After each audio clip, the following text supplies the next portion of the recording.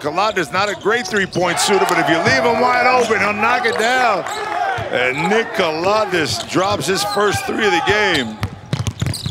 Mirotic looking for something, can't find it. He gets double team, he loses the ball. Here comes Real Madrid on a fast break. It's a three on two. See what they do with it off the deck. Deck can't get it to finish, but Tyus not giving up on the play, and he finishes it. Tyus one-on-one with Smits. Lapro from deep. Lapro with a three from deep.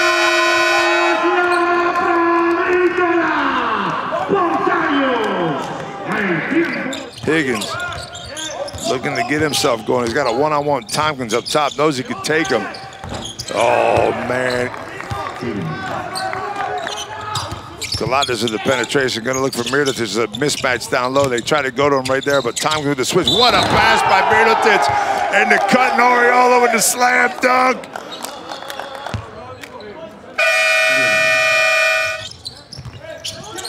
Higgins with the double pick and roll. Oh, so well done, but Thompkins with the big block.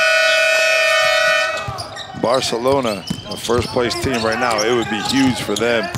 And Mirotic to the basket. You saw it happening. You saw it set up. Mirotic up with the left hand.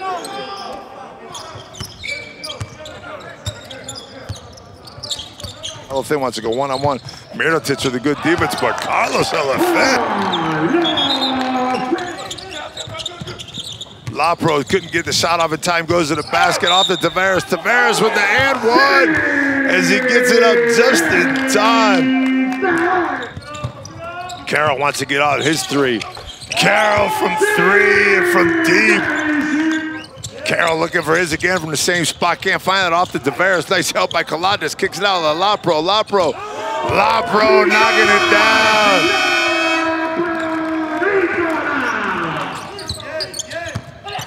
Higgins out. Hanga. Hanga sneaks one in from three.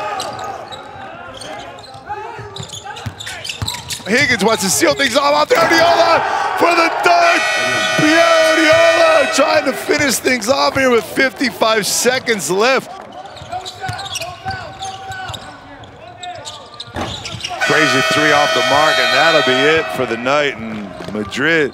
I'm sorry, Barcelona has secured themselves the first playoff spot of this 2020-2021 Turkish Airlines EuroLeague season. Well, it was a big surprise for me. Usually I don't do those kind of dunks, but uh, yeah, I think uh, as a team we played better second half and uh, seriously, we stepped up uh, uh, as a team defensively. We knew the kids going to be uh, play good defense against Madrid. That's what we did, and offensively, I think we played a really solid game. So very happy, big win for us every time we play here against Madrid. Every Clasico, it's it's special. So you know, proud of my team.